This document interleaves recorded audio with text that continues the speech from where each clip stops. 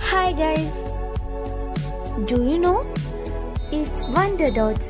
Take a ride to the truths and wonders of the world.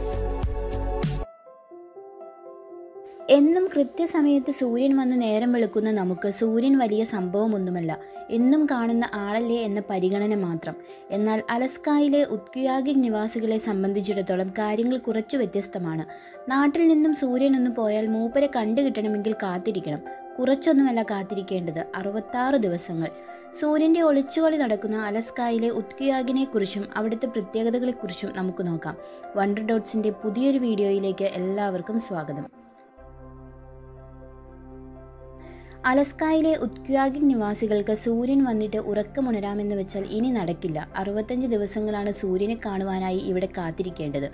ബുധനാഴ്ച അതായത് November പതിനേഴിനാണ് ഇവിടെ അവസാനമായി സൂര്യൻ ഉദിച്ചത് ഇനി ഈ രണ്ടായിരത്തി ഇരുപതിൽ ഇവിടെ സൂര്യൻ ഉദിക്കില്ല രണ്ടായിരത്തി ഇരുപത്തിയൊന്ന് ജനുവരി ഇരുപത്തിമൂന്നിനാണ് ഇവിടം വീണ്ടും സൂര്യൻ ഉദിക്കുവാൻ പോകുന്നത്.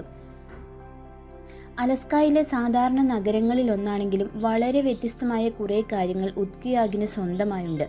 സഹിക്കുവാൻ പാടുപെടുന്ന തണുപ്പ് തന്നെയാണ് ഈ നാടിന്റെ പ്രധാന പ്രത്യേകത. ഭൂമിയിലെ ഏറ്റവും തെളിഞ്ഞ സ്ഥലങ്ങളിലൊന്നായി കണക്കാക്കപ്പെടുന്ന ഉത്കുയാഗിക് പല കാര്യങ്ങളാലും വിനോദസഞ്ചാരികൾക്ക് സ്വപ്നതുല്യമാണ്.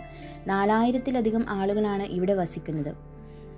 യഥാർത്ഥത്തിൽ രണ്ടു മാസത്തിലധികം സമയം സൂര്യനില്ലെങ്കിലും ഇവിടുത്തെ കാര്യങ്ങളെല്ലാം താളം തെറ്റുമെന്ന് കരുതിയാൽ നമുക്ക് തെറ്റി.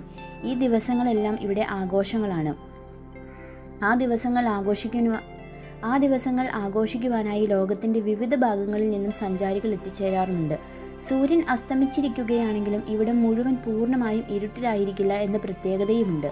നേർത്ത വെളിച്ചം ഇവിടെ എങ്ങും പ്രത്യക്ഷമാകുന്നതിലാണ് ഇരുട്ടല്ലാത്തത്. ഇതിനെയാണ് ഇവിടെ സിവിൽ സന്ധ്യ എന്ന് വിളിക്കുന്നത്. ആർട്ടിക് സർക്കിളിന് വടക്ക് സ്ഥിതി ചെയ്യുന്ന ഈ ചെറിയ പട്ടണത്തിലെ പ്രതിഭാസത്തിന് പോളാർ നൈറ്റ് അഥവാ ധ്രുവരാത്രി എന്ന പേരിലാണ് അറിയപ്പെടുന്നത്. ധ്രുവരാത്രി എന്നത് ബാരോയ്ക്കും ആർട്ടിക്കൽ സർക്കിളിനുള്ളിലെ പട്ടണത്തിനും സംഭവിക്കുന്ന ഒരു സാധാരണ പ്രതിഭാസമാണ്. രണ്ടായിരത്തി ഇരുപത്തിയൊന്ന് ജനുവരി ഇരുപത്തിമൂന്നിന് ശേഷമേ ഇനി ഇവിടെ സൂര്യൻ ഉദിക്കുമെന്നാണ് അമേരിക്കൻ കാലാവസ്ഥാ നിരീക്ഷണ ഏജൻസി അറിയിച്ചത്. ഭൂമിയുടെ അച്ചുതണ്ടിന്റെ ചെരിവ് കാരണമാണ് ഓരോ ശൈത്യകാലത്തും ഇത്തരത്തിൽ സംഭവിക്കുന്നത്. അച്ചുതണ്ടിലെ ഈ ചെരിവ് സൂര്യന്റെ ഡിസ്കുകളൊന്നും ചക്രവാളത്തിന് മുകളിൽ കാണാതിരിക്കാൻ ഇടയാക്കുമെന്നും അധികൃതർ വ്യക്തമാക്കുന്നു. അതേസമയം ഈ സമയത്ത് പൂർണമായും നഗരം ഇരുട്ടിലേക്ക് പോകുന്നുമില്ല. ഒട്ടുമിക്ക പകൽ സമയങ്ങളും സിവിൽ സന്ധ്യ എന്നറിയപ്പെടുന്ന കാലഘട്ടങ്ങളിലൂടെയാണ് കടന്നു പോകുന്നത് സൂര്യോദയത്തിന് തൊട്ടു മുൻപോ അല്ലെങ്കിൽ സൂര്യാസ്തമയത്തിന് തൊട്ടു പിന്നാലെയോ ആകാശം എങ്ങനെ ഇരിക്കുമോ അതാണ് ഈ പട്ടണത്തിൽ മണിക്കൂറുകളോളം കാണപ്പെടുന്നത് എന്നാണ് വ്യക്തമാകുന്നത്. ഇത് ആസ്വദിക്കാൻ നിരവധി ആളുകൾ ഇവിടെ എത്തിച്ചേരാറുമുണ്ട്. അലസ്കായുടെ പ്രത്യേകതകളിലൊന്നായ നോർത്തേൺ ലൈറ്റ് കാണാൻ പറ്റിയ സമയം കൂടിയാണ് ഇത്. സഞ്ചാരികൾ ജീവിതത്തിൽ ഒരിക്കലെങ്കിലും കാണണമെന്ന് അത്രയും തീവ്രമായി ആഗ്രഹിക്കുന്ന കാര്യങ്ങളിലൊന്നാണ് നോർത്തേൺ ലൈറ്റ്സ്. ഒരു ജീവിതകാലം മുഴുവനും ഓർമ്മയിൽ നിൽക്കുന്ന കാഴ്ചയിലൊന്നായിരിക്കും ഇത്. പച്ച നീല മഞ്ഞ അല്ലെങ്കിൽ പിങ്ക് നിറങ്ങളിലുള്ള ആകാശ കാഴ്ചയാണ് ഇവിടുത്തെ പ്രത്യേകത. ഭൂമിയുടെ ധ്രുവങ്ങൾക്കടുത്തുള്ള അയോണൈസ്ഡ് കണികകൾ സൂര്യനിൽ നിന്നുള്ള ചാർജ് കണങ്ങളുമായി കൂട്ടിയിടിക്കുന്നതാണ് ഇങ്ങനെ നിറങ്ങളുണ്ടാകുന്നതിന് പിന്നിലെ ശാസ്ത്രതത്വം. ഉത്ക്യാഗയിൽ മാത്രമല്ല ഇവിടുത്തെ മറ്റു ചില ഇടങ്ങളിലും സമാനമായ പ്രതിഭാസം സംഭവിക്കാറുണ്ട്.